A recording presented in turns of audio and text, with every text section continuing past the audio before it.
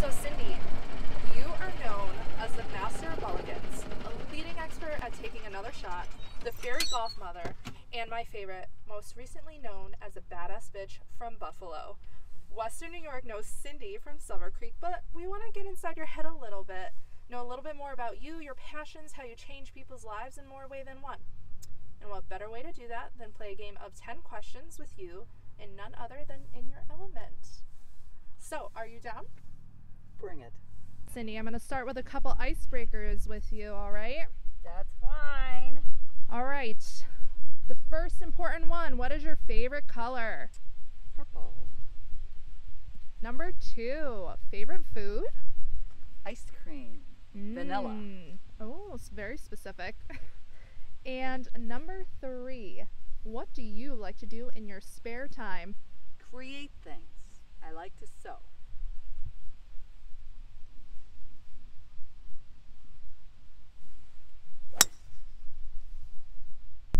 Okay, Cindy, we know you are from Silver Creek in Western New York. It's not particularly the warmest most of the year. How did you fall in love with the game of golf? That's a funny question. So, I grew up playing golf at this particular club, Tri County Country Club in Forestville, New York. My parents played golf every weekend, and I thought golf was dumb. And the pool was my babysitter until I got fat in eighth grade. Then all the cute boys started to call me Ten Ton Tessie. So I quickly found an aversion to swimming, and my only other option was the golf course. And I was actually pretty good at it. And my mom and her friends took me to an LPGA tour event when I was 17, and I saw Laura Baugh playing, who's only a year older than me, and I quickly found my new dream in life. I was going to be a star on the LPGA tour. There was only one problem. They told me you're not good enough. So I had to find a school where I could play college golf to learn how to get good enough. And there was no internet, so I wrote to the Ben Hogan Company and Golf Digest magazine. I played their clubs and I read their magazine, so I assumed they would care about me. And they actually wrote back. And the number one school on the list was the University of Miami. So I wrote to them and I said, Hey, I'm Cindy from Silver Creek. I'd like to be on your golf team. They wrote back and said, You're not good enough. And so I wrote back and I said, Well, can I come down and try? And they said, You're welcome to come try, but you'll probably never play. My dad told me I had one year to earn a scholarship or I'd have to come home because they couldn't afford it. I graduated four years later, the number one player on the team. We won back to back national championships, and I was voted team captain and All American my senior year. The U, go Canes! That could not have been an easy transition to go from four seasons of mostly chilly weather to what feels like the equator heat. Now you come across many junior students who have college golf in their main line of sight. What does it take to make it there? The dream? The dream has to be big enough. You've got to be willing to commit to it. You have to put in, I call it the pits, putting in time. You've got to practice. And you know what the, the biggest thing is? You got to want it. You got to want it. You got to be willing to work. You got to be willing to wait. And then you get the win. Excellent advice. Alright, so other than junior golfers, who else do you help? People between the ages of three and 93. Wow. and the ability level of total beginner, have no idea what they're doing, to even a PGA Tour comeback player of the year, and anything in between. Golf surely does not discriminate.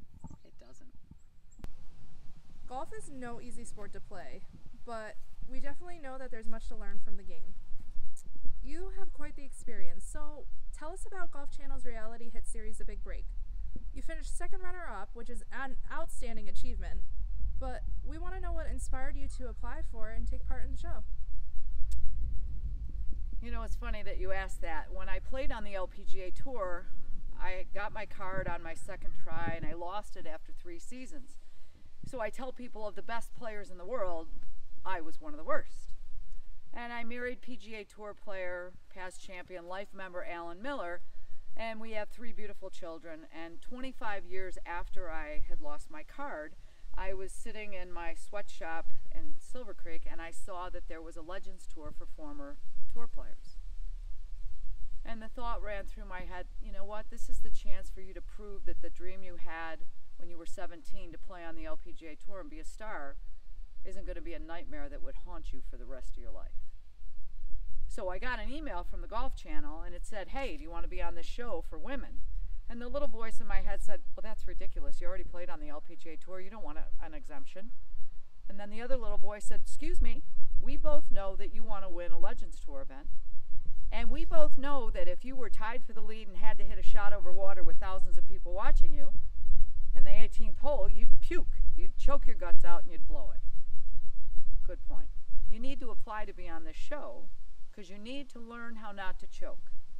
You need to go get better. So I applied and I was chosen as the token old fart of the show. Little did I know that I would finish third on the show. And the next tournament back on the Legends Tour after the show was done airing, I always had to qualify. It was the Hy-Vee Classic in Des Moines, Iowa. And this year I didn't have to qualify. I got a sponsor's exemption because I was now a television golf celebrity. And when you're a token field filler, you always get to tee off first. And my friend and I teed off first the first round of the tournament. And she shot 68, I shot 71. And the last round of the tournament, I was about three groups back. And I, uh, I actually birdied the 17th hole and I walked to the 18th tee, tied for the lead, having to hit a shot over water with thousands of people watching me. The same scenario that little voice said to me a year before, I was living. I knocked the ball on the green. I two putted for par. Everybody went crazy because now they know who I am. Before I was like a nobody. And my girlfriend birdied 17. She ended up winning by one. But you know what? Even though I didn't win the tournament, I defeated my demons, I exposed my elephants, and I proved to myself that the dream that I had when I was 17 years old to play on the tour wasn't going to be a nightmare that would haunt me for the rest of my life. All right, so it's obvious your talent and teaching skills are driven by some passion. You don't just make top 50 women's golf instructor in the world by whipping up a cocktail. So tell me, how does Cindy Miller help others, and who is your perfect student? Hmm. I'm going to start with my perfect student. Typically, they have one of three problems or issues that they would like fixed. Number one, they're not consistent at all. They can hit a good shot, but they don't know why, and they can't do it over and over again. And that drives them nuts.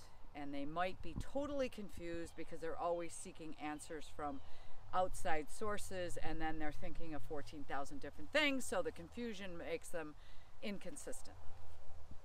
Second person doesn't know how to score. They can't play the golf course the right way to maximize their potential on their in their round. And number three, those who seem to choke, who uh, play with clenched butt cheeks, if you will. And the reason I love helping these people is I've lived all of these problems and challenges. And I've practiced my whole life and tried to pursue my personal potential and embrace the privilege of pressure, if you will. And um, now it's time for me to help others do the same thing. Who's burning something?